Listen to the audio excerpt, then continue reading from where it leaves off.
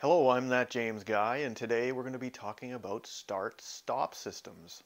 Uh, these are the things that have been creeping into our new cars for the last few years, and most people don't think it actually does anything. And I'm one of those. Um, all it does is uh, create more revenue for the car companies to sell uh, starters and alternators and all sorts of things like that. But my mind got changed today, and I'm going to tell you why. So I talked about the start-stop system in my 2013 BMW 328i named Betty. I talked about it in my video when I introduced her. It's an early generation, so it's very abrupt. When it fires back up, it stops at the light and then fires back up. So I usually just turn it off. Um, but for the last two months, it hasn't worked. It's just, it's never shut the engine off. And that was, I think, because the car got left on the side of the road with a flat tire with the hazards on and the battery died. We had to boost it, ended up at a body shop uh, to fix some damage that occurred. And uh, it just hasn't worked for two months. I figured maybe the battery's a bit weak. Um, the system's noticing, so it just won't do it.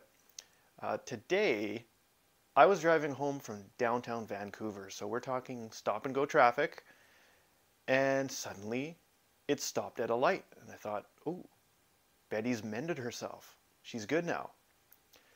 And I didn't think much of it, but then a few minutes later I thought, hey, I'm going to check to see what my fuel mileage is doing. And there's a bar graph chart that I can pull up. And I took a look at it and I was shocked. Now I'm a believer in stop-start systems. Here you can see on the right side the fuel mileage, the bar graph. So it's in liters per 100 kilometers, which if you're used to miles per gallon, um, instead of more being better in liters per 100 kilometers, less is better. Uh, you can see a distinct difference between the right side and the left side.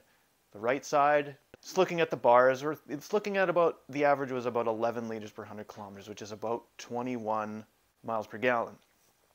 And on the left side, you can see the most ridiculous change. I mean, there was a lot of stop and go, sitting at traffic lights for a few minutes at a time, so the engine, instead of idling, just shut off.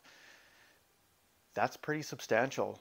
7 liters per 100 kilometers, 34 miles per gallon on the left side. I'm a believer now. And I mean, yeah, I don't have a lab coat on. I'm not measuring fuel uh, into like special, special metered containers, but the graph kind of speaks for itself.